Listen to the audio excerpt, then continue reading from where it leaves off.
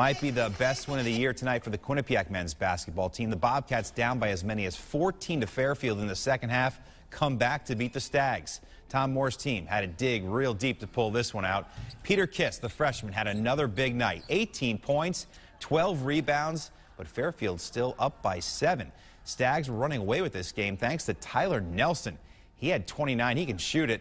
He led all scorers tonight, but the Bobcats turn on the defense and come all the way back to win it. Mikey Dixon, another freshman, the three-point play. He had 14.